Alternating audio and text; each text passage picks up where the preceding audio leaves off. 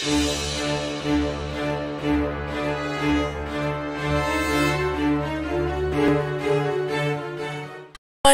me and the B team haven't had a meeting in a while.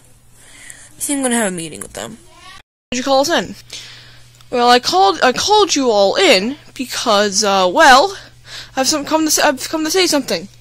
And like kind of talk about something. Me and Spider Kermit are actually going on a vacation for beating grunge.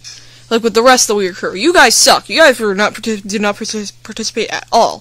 So me and Spider Kermit decided to go for a celebration and vacation, and we are going to the Bahamas. Why is no one cheering? Well, because I cannot trust any of you for five seconds with me being gone, I've decided to build a robot. Holy crap, that robot's big. Yep, it is.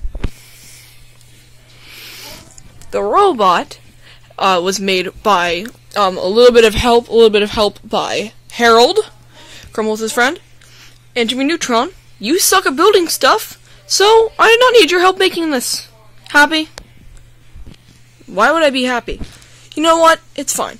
The robot is going to be taking my place for a little bit while I go while I go in the Bahamas for a week. And I have something to show you guys. This is the robot's power source. You can hear the motorizer in it. This power source is the reason this robot is alive. Oh crap, powered off. If you want to make sure this robot is still moving around, you're going to need this power source.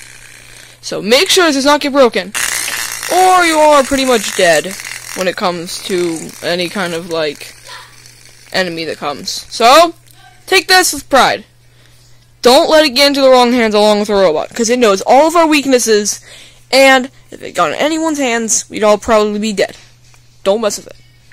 Uh, Jimmy Neutron, you, you, your IQ is higher than one. Take this. Alright, bye guys. Oh, I'll put this away. Alright, so, bye guys. I'm at my house. Yeah, Fisher, let's go.